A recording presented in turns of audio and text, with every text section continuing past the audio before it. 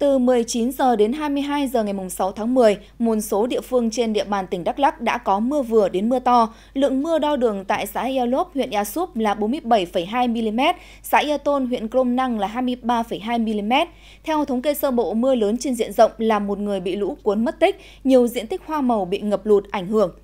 Đến 10 giờ ngày hôm nay, công tác tìm kiếm người mất tích vẫn đang được tích cực triển khai. Dự báo trong 24 giờ tới, tỉnh Đắk Lắk tiếp tục có mưa lớn, cảnh báo nguy cơ cao xảy ra lũ quét ngập úng cục bộ vùng trũng thấp, sạt lở vùng đất dốc thuộc các huyện sau: Mật Rắc, Iaka, Lắc, Krông Anna, Chư Quynh, Ia Leo, Krông Búc, Krông Năng, Cư Mờ Ga, Krông Bông, Krông Park, thị xã Buôn Hồ, thành phố Buôn Ma Thuột chính quyền địa phương khuyến cáo người dân cần chủ động nắm bắt thông tin về tình hình thời tiết để chủ động các biện pháp phòng chống, hạn chế tối đa thiệt hại về người và tài sản do mưa lũ gây ra.